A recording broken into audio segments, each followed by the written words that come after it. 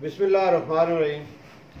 नाजरीन, ईद उज़ा के मौके पे सबसे पहले मैं अपने दोस्तों को, रिश्तेदारों को और अपने व्यूअर्स को ईद मुबारक कहता हूँ। और इस मौके पे मैं आपको एक ऐसा लाजवाब तोहफ़ा देने वाला हूँ कि जिसे हासिल करने के बाद आप, कुर्बानी का जो गोश्त है, वो खाने से आप डरेंगे नहीं। क्योंकि साल के बाद ये दिन आता है और अक्सर लोग जो हैं, उनका दिल करता है, लेकिन वो कहते हैं ये डॉक्टर ने मना किया हुआ है कि मैंने गोश्त नहीं खाना। या कुछ लोग ऐसी बीमारियों में मुबतला होते हैं जो कहते हैं कि जब मैं गोश्त खाता हूँ तो मुझे मैदे की प्रॉब्लम हो जाती है। तो ऐसे तमाम लोग जो हैं, वो परेशान मत हों। उनके लिए एक बेहतरीन तोहफ़ा आपकी खिदमत में हाजिर है। ये एक होम्योपैथिक दवाई है। सॉरी जिसका नाम है नक्सवमिका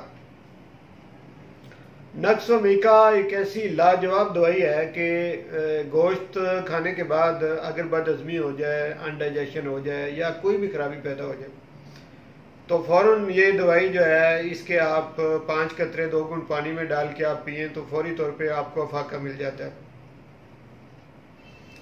इसके अलावा गोश्त से बनी हुई दीगर जितनी भी आपकी खुराकें हैं, जितनी भी डाइट हैं, जैसे कि कबाब हैं, टिक्के हैं, या बिरयानी है, या इस किस्म की और तमाम खाने जिनमें गोश्त डाला जाता हो तो वो खाना खाने से जिसमें गोश्त शामिल हो, अगर आप बीमार हो जाते हो तो आपको परेशान होने की ज़रूरत नहीं है।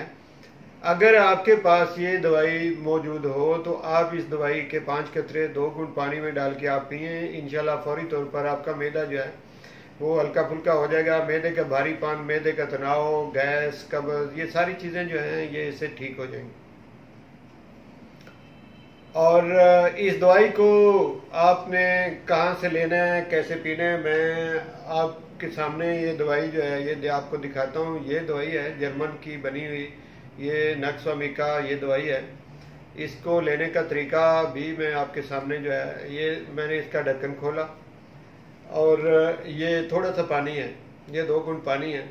इसमें इसके एक, दो, तीन, चार, पाँच पाँच ड्राप मैंने इसमें डाले। और ये पाँच ड्राप इसमें डालने के बाद आप थोड़ा सा इसे ऐसे शेक करें और फिर आप पीजिए।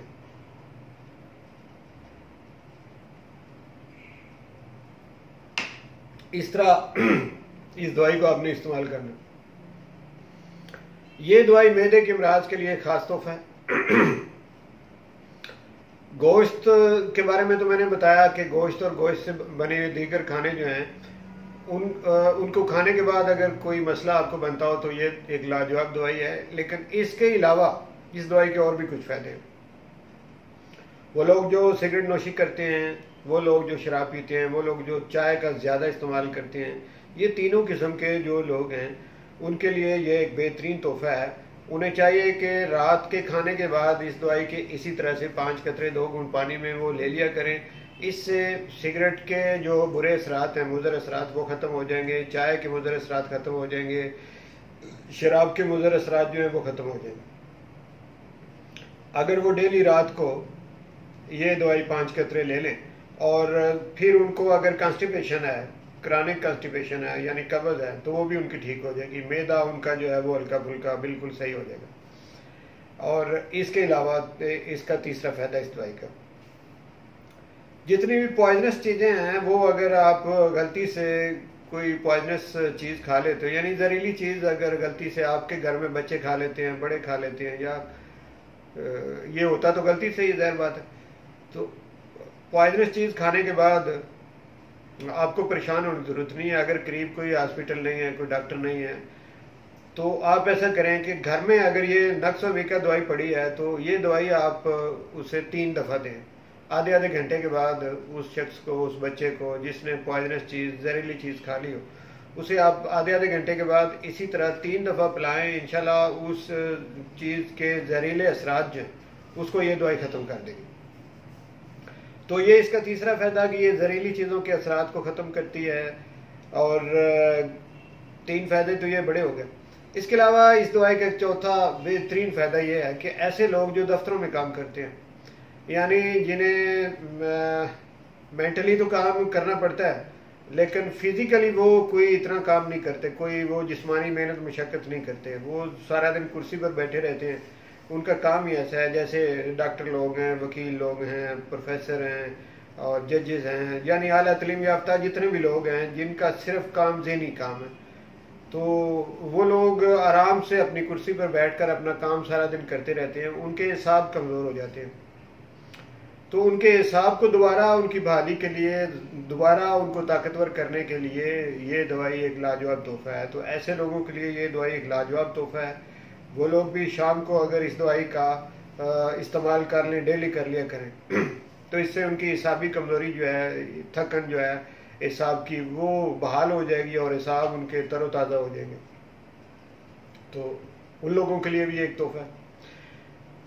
तो नादरीन ये ईद के मौके पे मैंने आपको ये एक बेहतरीन तोहफा आपके सामने पेश कर दिया है। लेकिन ईद के अलावा भी बाकी दिनों में भी जब भी आप गोश्त खाएँ या दीगर चीज़ें जो मैंने आपके सामने रखी हैं, कि जिनसे आपका पॉइजनस चीज़ें या सिगरेट नोशी, शराब नोशी, या इस तरह की जितनी भी चीज़ें हैं, चाय ओवर होगी काफ़ी होगी तो इससे अगर मैदा ख़राब होता है तो आपको ये दवाई काम देती है।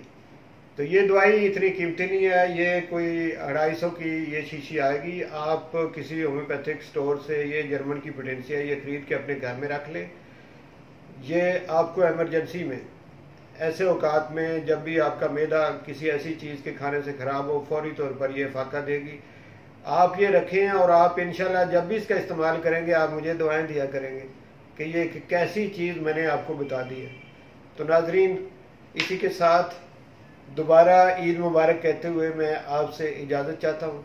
अगर मेरी ये वीडियो आपको अच्छी लगे, ये इन्फॉर्मेशन आपको अच्छी लगे तो ये दूसरों का भी हक है। आप उन तक भी पहुँचाएँ, इस वीडियो को शेयर करें और मेरे चैनल को आप सब्सक्राइब करें। साथ में बेल के निशान को दबाएँ ताकि इसी तरह की जो और मैं इंफॉर्मेटिव वीडियो बनाऊँ, वो आप तक पहुँचती रहें। नाजरीन, सेहत अल्लाह ताला का एक बहुत बड़ा तोहफा है, इसका ख्याल रखना चाहिए। अपना ख्याल रखिएगा। और दूसरी वीडियो के आने तक मैं आपसे इजाज़त चाहता हूँ। Thank you